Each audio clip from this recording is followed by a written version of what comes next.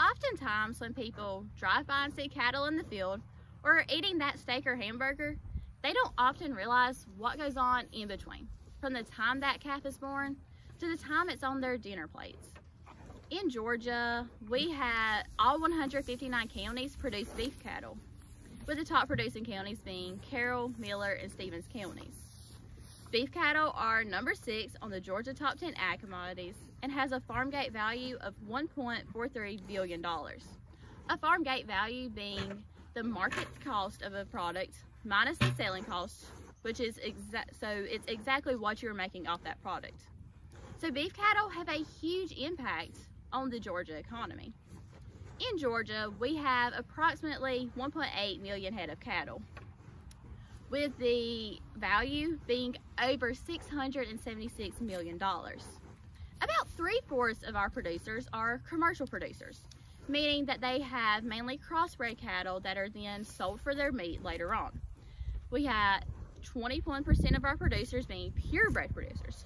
So they have purebred cattle that are then used for breeding purposes. And 8% are stockers. Stockers are the ones who buy cattle, add the weight to them, and then they then sell them and send, most of the time send them off to the Midwest to finish off.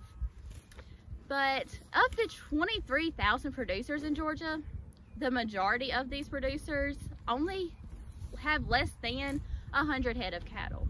So whenever you think about the majority of cattle in Georgia, they're owned by a small amount of producers who have large amounts of cattle.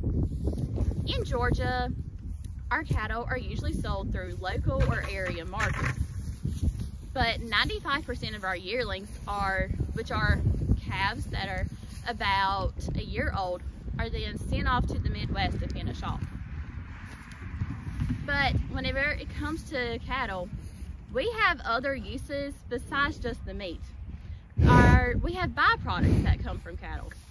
So a byproduct meaning, meaning part of the part of the cow that is not used just for meat and is used as part of another as an ingredient in another product. So some of the uses that we have from cattle, say those are byproducts, say from like the cowhide. We get many of our sports balls, like footballs, baseballs, and then we also have like leather, and then like the cow's hooves. This sounds crazy, but it's true. We get cow's hooves help us to have the glue that we use every day.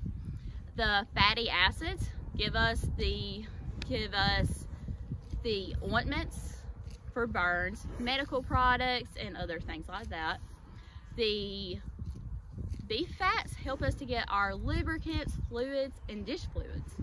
So as you can see, beef cattle have a huge impact on the Georgia economy, agriculture, and our everyday life.